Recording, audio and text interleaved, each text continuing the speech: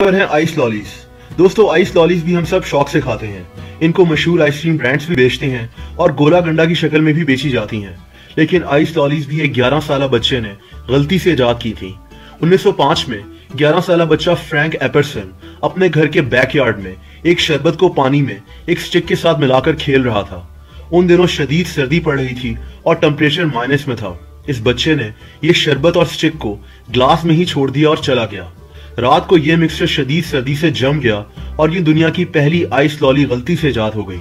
18 साल के बाद फ्रैंक एपरसन ने अमेरिकी रियासत कैलिफ़ोर्निया के एक बीच पर अपना ये फ्रोजन सोडा वाटर बेचना शुरू कर दिया। इसको उस दौर में पॉप्सिकल कहा जाता था। 1925 में फ्रैंक ने पॉप्सिकल के राइट्स न्यूयॉर्क की एक कंपनी जो लोई को बेच दिए और यूँ आइस लॉली या गोला गंडा पूरी दुनिया में मशहूर हो गया।